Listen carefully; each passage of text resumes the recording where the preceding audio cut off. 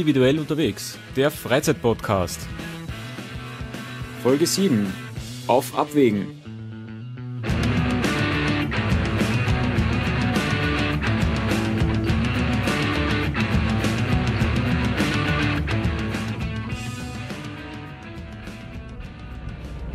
Hallo liebe Individualisten, herzlich willkommen zur Folge 7. Es ist Sonntag, der 28. April und jetzt gerade halb neun. Und ich habe perfektes Wetter, es scheint die Sonne, es hat 15 Grad plus mittlerweile und es wird sicher noch wärmer werden heute. Und ihr hört es schon, ich bin wieder mal unterwegs mit dem Auto und zwar zum Startpunkt einer neuen Tour. Heute geht die 14 Kilometer lange Runde über den Troppberg, so wie letzte Woche schon versprochen. Und ich denke, ich werde den Großteil der Tour heute wirklich bei super schönem Wetter gehen. Es soll zwar dann zum Mittag dann leicht zu regnen anfangen, aber ja, werden wir sehen, wie das alles wird. Ich hoffe, die Audioqualität ist mittlerweile ein bisschen besser, weil es gibt ein bisschen auch technisch Neuerungen ich habe mich doch noch dazu durchgerungen, mir ein neues Telefon zu kaufen. Und zwar das erste Smartphone für mich. Man glaubt es kaum. Ähm, ja, es ist ein Sony Xperia Z, das heißt schon ja, halbwegs ein gutes Teil und die Freisprecheinrichtung dürfte doch von der Aufnahmequalität her deutlich besser sein als wie das alte Sony Ericsson. Und ja, ich hoffe, dass die Soundqualität jetzt etwas besser rüberkommt, dass der Ton etwas klarer ist. Die ersten Versuche zu Hause waren recht vielversprechend und ich hoffe, dass man mich jetzt auch während der Tour dann jetzt ein bisschen besser versteht, dass ich nicht ganz so viel nachbearbeiten muss. Vorteil am Smartphone, das war natürlich auch irgendwo der ausschlaggebende Punkt, warum ich mich jetzt dann doch für ein Smartphone entschieden habe, ist einfach zum einen die Auphonic App, die es mir ermöglicht, meine Aufnahmen, die ich jetzt so fürs Podcast nehmen mache, dann gleich direkt zu Auphonic hochzuladen und entsprechend soundmäßig zu optimieren, was mir dann in weiterer Folge beim Schneiden natürlich einiges an ja, Arbeit ersparen wird, hoffe ich. Und der zweite Grund für das Smartphone ist einfach, es ist Spritzwasser geschützt, es ist IP57 zertifiziert.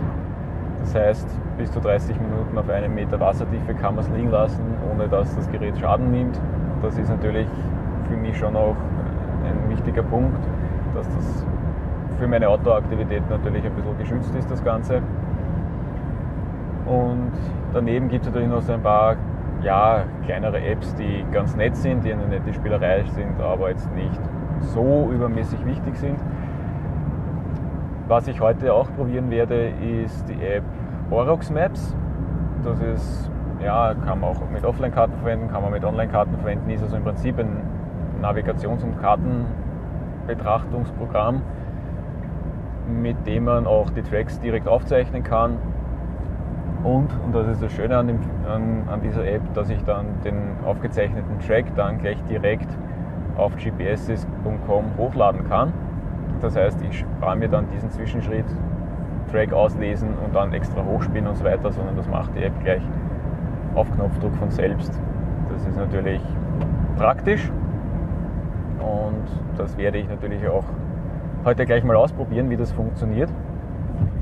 Sieht aber ganz vielversprechend aus. Ja, so viel mal zu den technischen Neuerungen, die es in den letzten Tagen gegeben hat. Ich werde jetzt mal ins Sirenental fahren, zu meinem Startpunkt von der Tour über den Troppberg. Es liegen auf dem Weg auch einige Dosen heute wieder. Das heißt, es wird hoffentlich heute eine erfolgreiche Dosensuche werden, nicht so wie beim letzten Mal. Und ja, der Troppberg vielleicht noch ganz kurz, gehört noch zum Wienerwald, liegt ja am nördlichen Ende vom Wienerwald und zwar zwischen Burgersdorf und Gablitz. Ist für mich ja, in 15 bis 20 Minuten erreichbar und bietet sich einfach für eine schöne Sonntagstour halt einfach an. Gut, so viel zu dem Gequassel jetzt mal. Ich denke, es ist jetzt eh schon wieder genug. Ich werde jetzt mal zu meinem Startpunkt fahren. Dort liegt dann auch gleich die erste Dose und von dort werde ich mich dann wieder melden.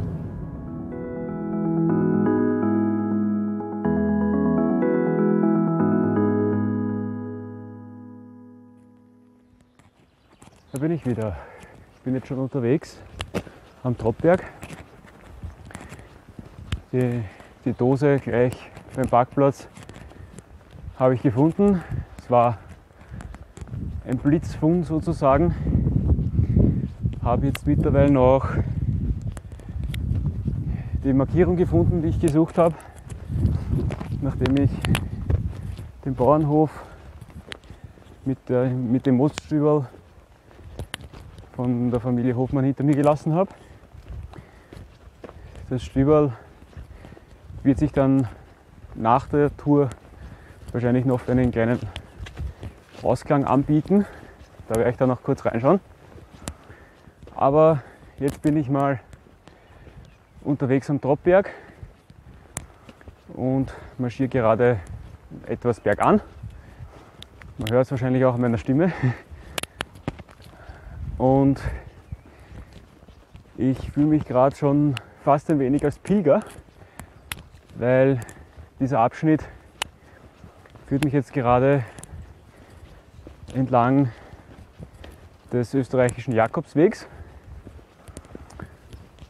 Ja, ist mal auch interessant, mal da einen Teil zu gehen davon. Sind allerdings nur ein paar Kilometer, also allzu weit werde ich dem Jakobsweg nicht folgen. Aber ich marschiere jetzt mal entlang der weiß-grün-weißen Markierung und werde mich jetzt dann auf die Suche nach der nächsten Dose machen. Ja, ist jetzt da gleich am Weg. Es sind noch circa, ja, ich schätze mal Kilometer eineinhalb bis dorthin. Und ja, von dort werde ich mich dann wieder melden.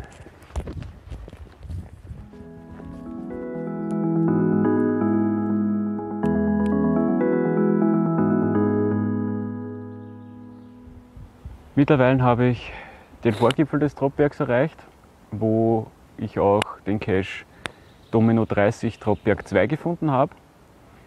Hat einen Moment gedauert, bis ich ihn gefunden habe, obwohl ich eh gleich beim ersten Anlauf eigentlich richtig war.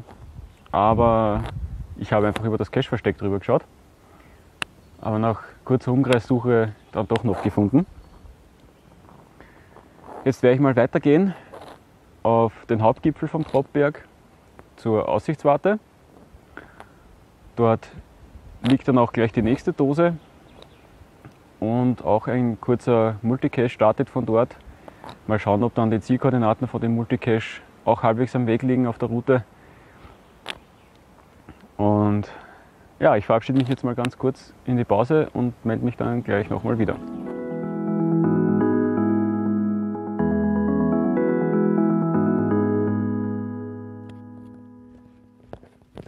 Den Gipfel am Troppberg habe ich jetzt schon hinter mir gelassen. Auch die alte und neue Aussichtswarte habe ich mir angeschaut und bin jetzt schon wieder herunten am Jakobsweg, dem ich jetzt noch ein Stück folgen werde, ehe es dann weitergeht in Richtung Westen von der roten Markierung dann auf die blaue.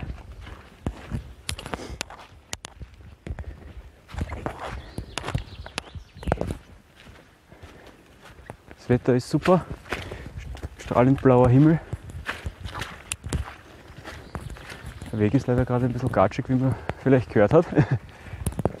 aber das Wetter ist echt toll, ca. 20 Grad, leichter Wind, der für ein bisschen Kühlung sorgt. Wirklich strahlend blauer Himmel, die Bäume erstrahlen in der Sonne wirklich in einem herrlich hellen Grün, frisch und satt. Das ist jetzt in den letzten zwei Wochen extrem schnell gegangen. Vor zwei Wochen hatten wir ja noch 20 cm Schnee in Großwöniggraben. Wie man in der Folge 5 hören kann. Und jetzt ist wirklich alles super grün und das Laubdach ist schon wieder sehr dicht, sodass die Sonne eigentlich nur mehr stellenweise durchdringen kann. Ja, jetzt geht es mal ein Stück weiter noch dem Jakobsweg entlang. Und jetzt ist ja, die nächsten paar Kilometer gibt es jetzt keine Dose zum Finden, macht aber nichts. Ist nicht weiter schlimm. Weil ich werde jetzt einfach den Weg genießen. Es geht hier wirklich über super schöne Waldwege, also nicht mal Forststraßen sind da dabei. Es sind wirklich wunderschöne Waldwege, richtig schöne Pfade. Und es ist einfach zum Genießen.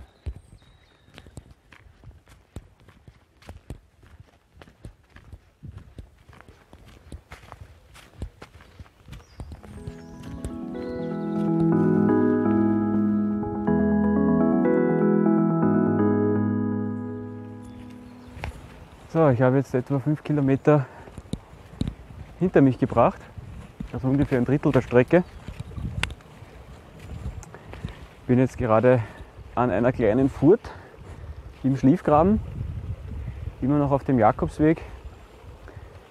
Und mir ist vorher ein Mountainbike entgegengekommen mit zwei Hunden vorne dran.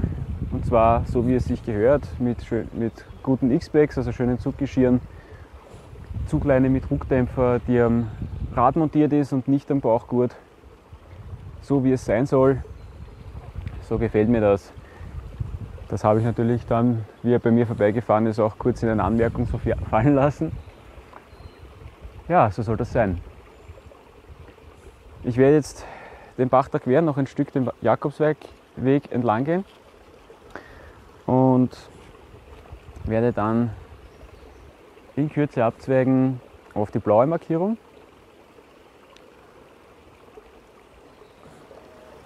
Genieße jetzt dann noch ein bisschen das Plätschern von dem kleinen Bach und die Ruhe. Werde dann weitergehen und mich dann entsprechend natürlich nach der Pause wieder melden.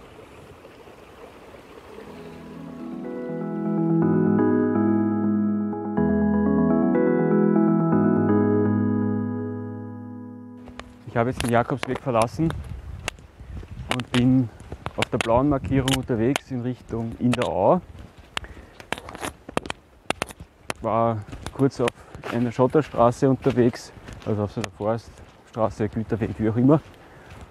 Bin aber jetzt schon wieder auf einem schönen Waldweg, der zwar recht breit ausgefahren ist, aber angenehm ist zu gehen, weil es wirklich ein Erdweg ist, ohne Schotter, ohne Befestigung. Der Wind frischt jetzt ein bisschen auf. Mal schauen, ob der jetzt den Regen bringt, der angesagt ist. Keine Ahnung. Ich hoffe nicht, weil momentan ist also noch wirklich strahlend blauer Himmel. So gut wie keine Wolken. Schöner Sonnenschein. Und wirklich angenehme Temperaturen. Es ist super zum Gehen heute. Es ist echt ein Traumwetter. Eine kleine Eidechse habe ich auch gesehen. Leider war ich zu langsam mit der Kamera, sodass ich sie nicht mehr aufs Foto bannen konnte. Aber das macht ja auch nichts. Ja, ich werde jetzt den Weg noch ein bisschen genießen, weil schließlich ist ja der Weg das Ziel und nicht das Ziel. Und ja, werde mich dann später auf dem Weg wieder melden. Aber jetzt gehe ich erstmal wieder in die Pause.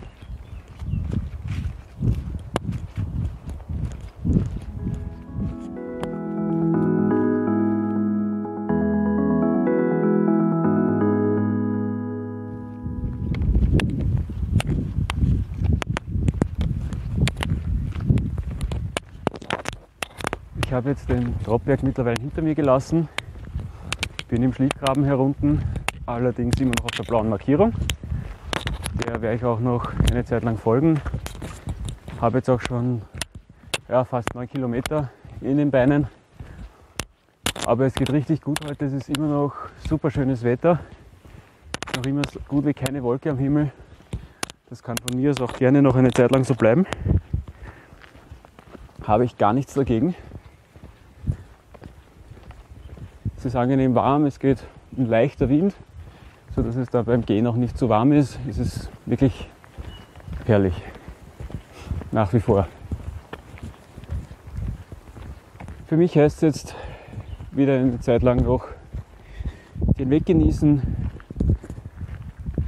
Und das werde ich jetzt auch tun. Und melde mich dann im weiteren Verlauf natürlich dann wieder.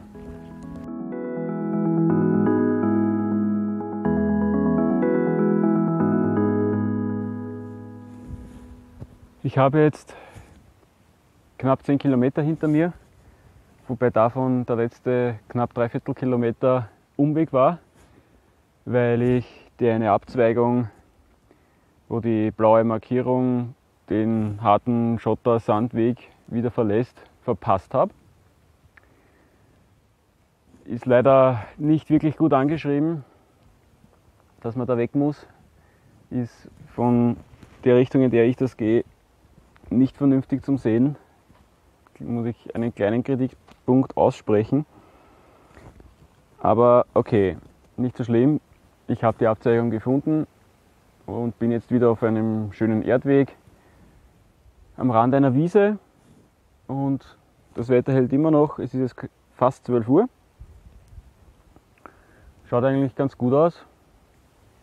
Und ja, ich werde mich jetzt wieder ein bisschen auf den Weg machen und verabschiede mich dabei mal wieder in die Pause und melde mich dann später am Weg irgendwo wieder.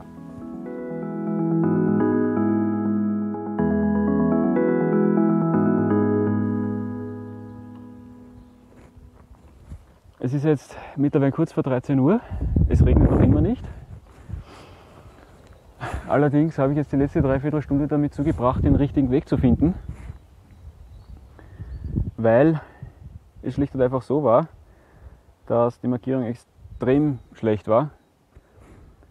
Bei der Abzweigung war zwar fünf Meter nach der Abzweigung auf dem falschen Weg ein Pfeil nach rechts, aber danach keine Markierung mehr. Somit war einfach nicht klar, bin ich da jetzt richtig, bin ich da jetzt falsch, keine Ahnung.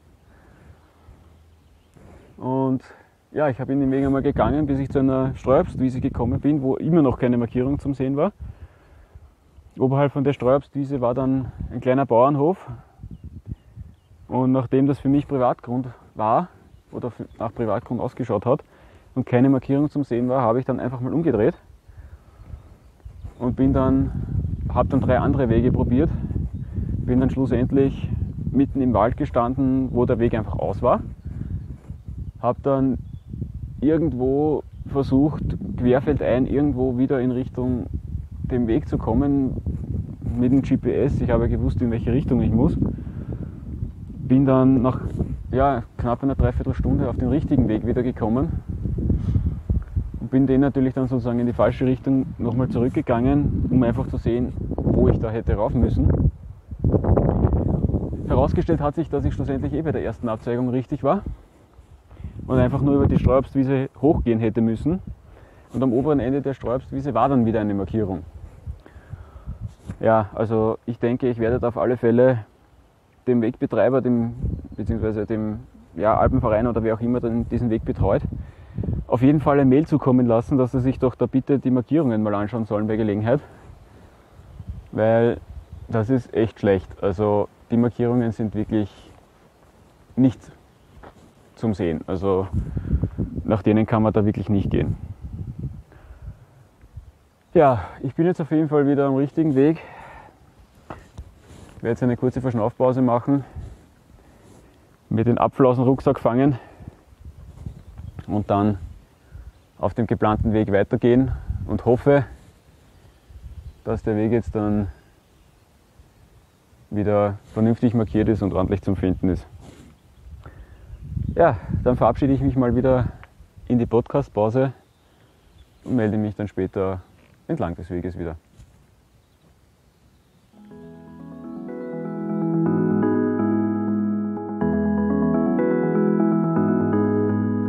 Ich bin wieder ein Stück weitergekommen, bin jetzt mittlerweile bei ca. 14 Kilometer Wegstrecke, die ich insgesamt gegangen bin.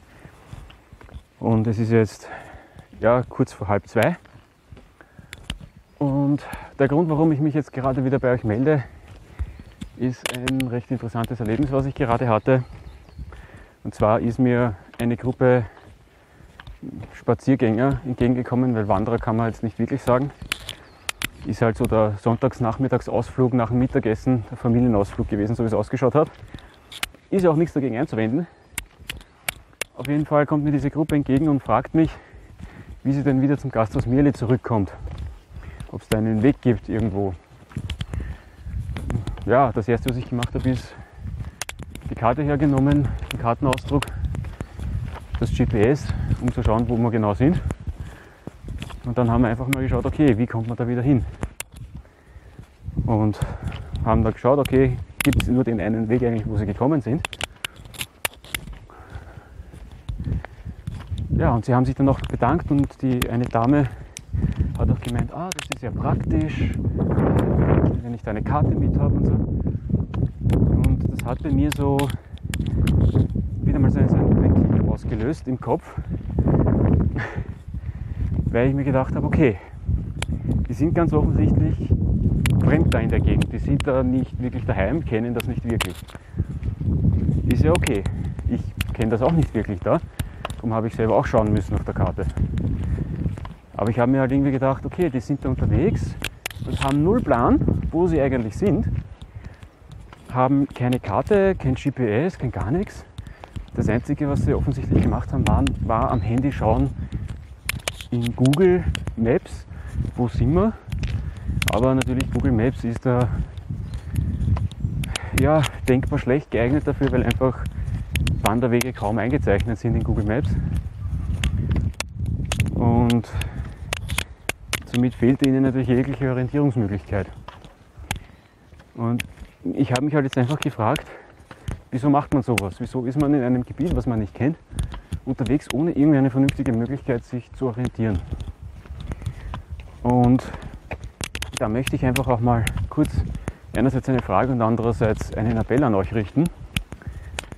Die Frage ist einfach, wie macht ihr das? Wie seid ihr unterwegs, wenn ihr irgendwo in einem Gebiet, Gebiet seid, das ihr nicht wirklich kennt? Habt ihr Karten mit? Habt ihr GPS mit? Macht ihr das mit einer Handy-App oder wie auch immer? Wäre interessant für mich. Und der Appell ist ganz einfach an euch, wenn ihr irgendwo in einem Gebiet unterwegs seid, was ihr nicht kennt, dann nehmt euch irgendwas mit, mit dem ihr euch dort vernünftig orientieren könnt. Das kann eine App am Handy sein, das kann ein GPS sein, das kann eine Karte sein, whatever. Man muss jetzt sicherlich nicht mit Kompass und, und Peilung und so weiter arbeiten, das ist sicher nicht erforderlich. Aber zumindest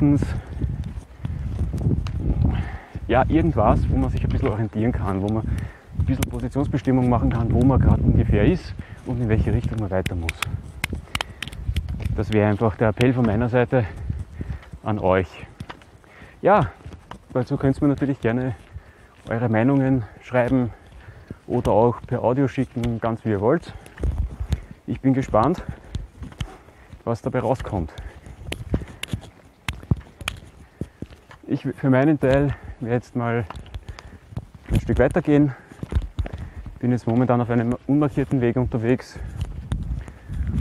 und werde dann wieder auf den Weitwanderweg 04 treffen und diesem dann zurückfolgen bis an meinen Ausgangspunkt. Aber da werdet ihr bestimmt dazwischen noch mal was hören von mir. Da melde ich mich bestimmt noch mal, weil das sind noch ein paar Kilometer. Aber jetzt möchte ich erstmal den wolkenlosen, strahlend blauen Himmel ja, genießen. Die Sonne lacht wirklich herunter. Es ist super warm. Mir ist es schon fast zu warm, aber dafür geht ein bisschen ein Wind. Der kühlt mich wieder, das ist okay. Ich werde das jetzt genießen und gehe jetzt mal in die Podcast-Pause und melde ich mich und melde mich dann einfach später nochmal bei euch.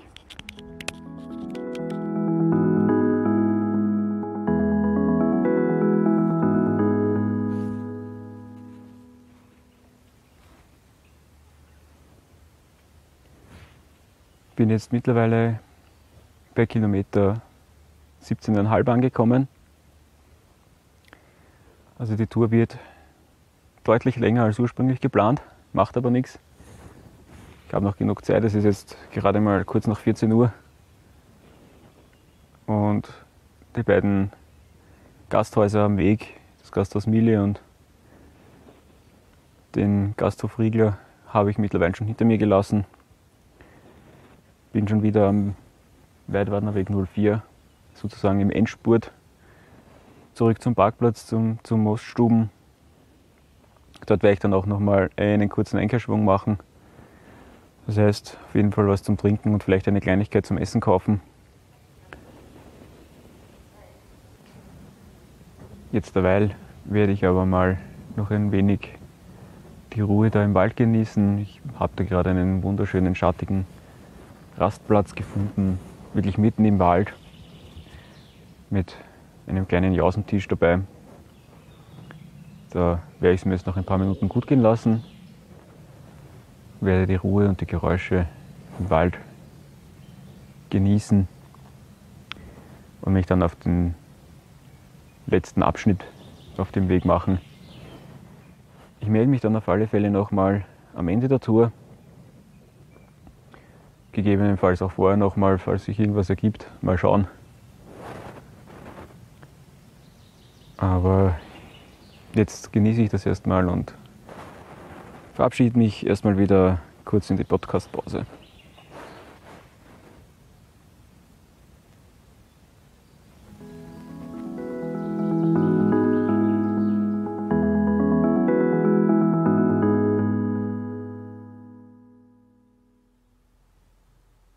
Da bin ich wieder. Ein letztes Mal für heute. Ich habe jetzt die Tour fertig. Es sind jetzt schlussendlich immerhin 21 Kilometer geworden. Also ja, doch deutlich länger als ursprünglich geplant. Da dürfte ich mich doch ein paar Mal ganz schön vergangen haben, so wie es ausschaut. Was halt einfach auch den abschnittsweise nicht vorhandenen Markierungen oder schlecht platzierten Markierungen zu verschulden oder zu verdanken war. Ja, ist halt so, egal. Ich habe die Tour gut hinter mich gebracht. Es war wunderschön, es war super selektiv stellenweise. Die Wege aber grundsätzlich zum Großteil in gutem Zustand, gut zu gehen. Es war ein sehr hoher Pfadanteil, was mir persönlich sehr entgegenkommt. Es waren so gut wie überhaupt keine Asphaltstücke drinnen und auch nur sehr, sehr wenig Schotterpisten. Also es waren wirklich sehr schöne Wege. Das Wetter hat super ausgehalten. Es war wirklich, während ich unterwegs war, strahlend blauer Himmel, Sonnenschein, warm, mit einem leichten Wind zur Kühlung. Das war wirklich perfektes Wanderwetter heute. Jetzt zieht es schon langsam zu. Es ist aber jetzt mittlerweile 16 Uhr.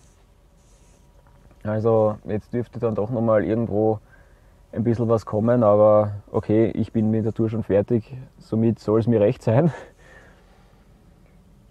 Ansonsten, ja, eigentlich eine schöne Strecke. Man kann an einigen Stellen auch einkehren. Also es gibt dann speziell dann im Schlussabschnitt so ab, ja, auf den letzten ich sag mal, ja, auf den letzten sieben Kilometern in Summe drei Möglichkeiten. Eine davon ist die Moststuben der Familie Hoffmann, wo ich mein Auto stehen gehabt habe, wo ich geparkt habe. Die habe ich dann auch genutzt für einen kleinen Einkehrschwung. Das heißt, ich habe mir dann dort noch eine Kleinigkeit zu essen gekauft und was zum Trinken. Und war sehr positiv über die Preise überrascht, muss ich sagen. Wirklich günstig absolut empfehlenswert, wenn ihr die Tour mal machen wollt oder da in der Gegend unterwegs seid. Wirklich eine absolute Empfehlung. Es ist auch möglich, bei der Familie Hoffmann im, im Hofladen einzukaufen. Das heißt, man bekommt da Rindfleisch, Schweinefleisch, Putenfleisch alles vom eigenen Hof. Und ja, also von meiner Seite wirklich eine absolute Top-Empfehlung. Kann ich eigentlich gar nichts sagen.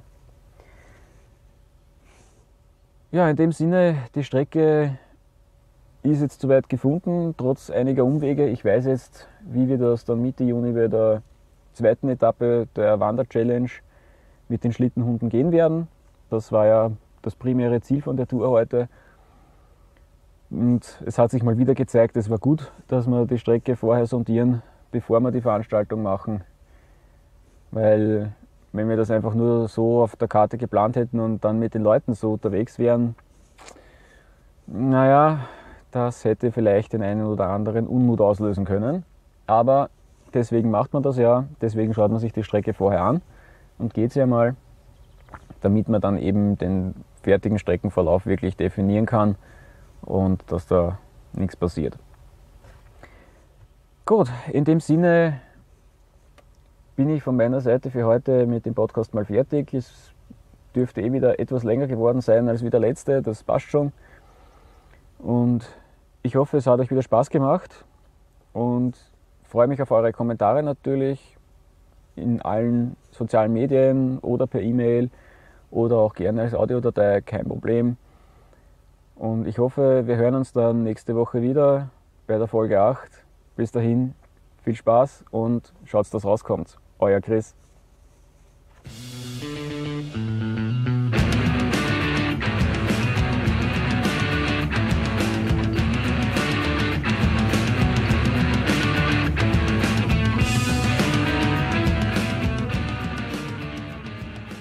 Individuell unterwegs ist eine Produktion von Reisen, Wandern, Tauchen. Reisen-wandern-tauchen.at